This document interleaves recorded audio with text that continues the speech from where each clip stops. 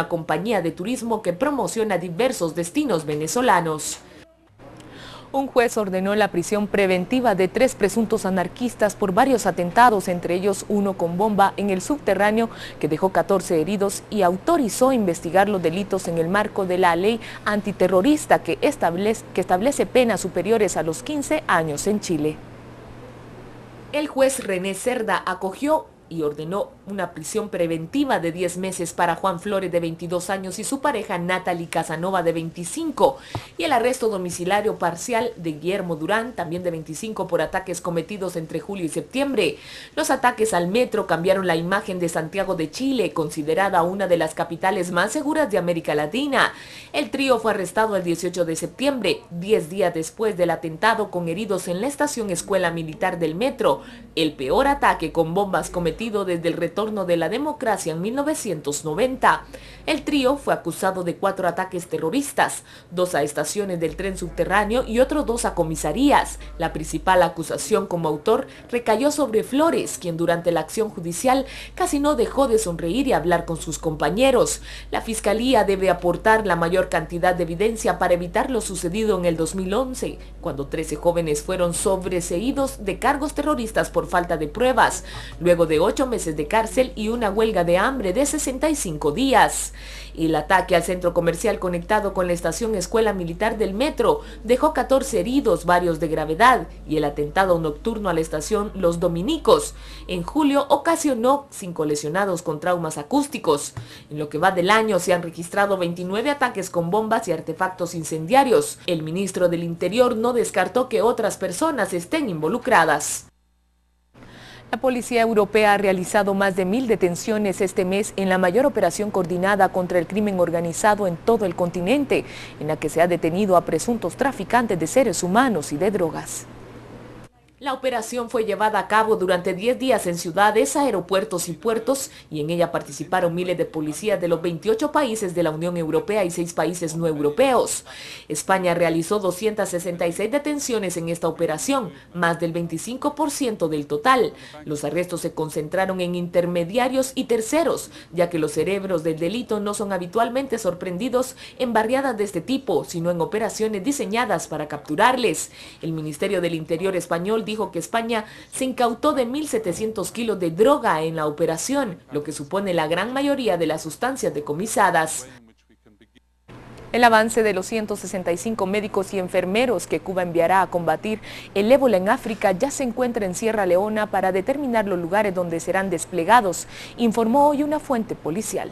Esta eh, infección se transmite a través del contacto personal con la persona. O sea, eh, a través de las lágrimas, del sudor, de, la sangre, de la orina, de la heces fecales. Entonces, no hay eh, contacto corporal o líquido corporal que no sea infeccioso. Inclusive las personas cuando hablan, ¿no? expelen eh, a veces fluidos y esas, esas gotas gruesas que pueden quedar en algunos lugares pueden ser también infecciosa. Por eso es la importancia de que todo lo que se use hay que después desinfectarlo con hipoclorito explicó que la avanzada viajó a Sierra Leona para determinar las provincias y lugares donde serán desplegados los 62 médicos y 113 enfermeros, todos hombres. El contingente recibió preparación en asuntos como bioseguridad, enfermedades hemorrágicas virales, promoción a la salud en inglés.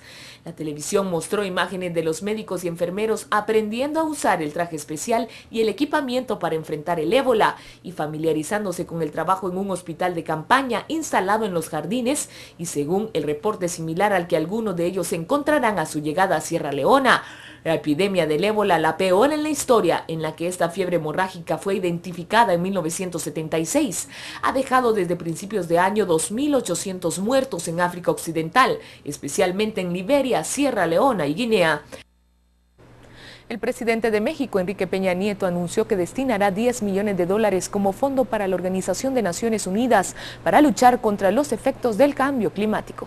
Señoras y señores, en mayo anunciamos el compromiso de duplicar nuestra contribución al financiamiento ambiental internacional. Hoy damos otro paso importante. Quiero informarles que México hará una aportación de 10 millones de dólares al Fondo Verde para el Clima. Si bien México es un emisor moderado de gases de efecto invernadero, nuestro compromiso internacional es firme y creciente. Muchas gracias.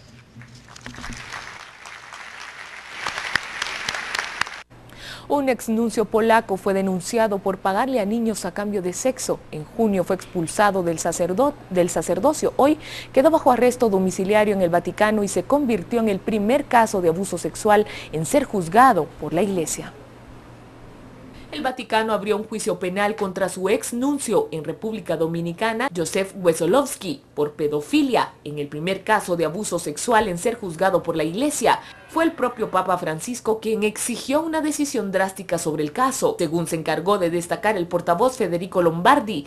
Wesolowski, de 65 años, fue despojado de sus hábitos en junio y se encuentra bajo arresto domiciliario. La decisión fue tomada de acuerdo con la voluntad expresada por el Papa, para que un asunto tan grave y delicado sea enfrentado sin retraso, con el rigor justo y necesario y una total asunción de responsabilidades por parte de las instituciones al frente de la Santa Sede, indicó el vocero. El Papa Francisco había convocado en agosto de 2013 a Wesolowski en República Dominicana desde enero del 2008, tras ser acusado de abusos sexuales a menores. Wesolowski estaba acusado de haber pagado a menores para mantener relaciones sexuales en el centro histórico de Santo Domingo, un escándalo que despertó la indignación en la isla y provocó la movilización diplomática del gobierno. Más de lo que ocurre en el mundo usted lo conocerá en nuestra emisión de las 6 y 9 de la noche. De mi parte los invito a que me sigan a través de mi cuenta de Twitter arroba mariaale-gtv para que se mantenga bien informado de lo que ocurre en el mundo. Gracias María Alejandra y también en todo el mundo puede seguir nuestra transmisión completamente en vivo a través de nuestra página en internet www.guatevision.com. Pausa comercial y cuando volvamos diversas entidades afirman que el Tribunal Supremo Electoral debería de suspender Partido Patriota tras la proclamación de Alejandro Sinibaldi. Volvemos con esto y con más en breve.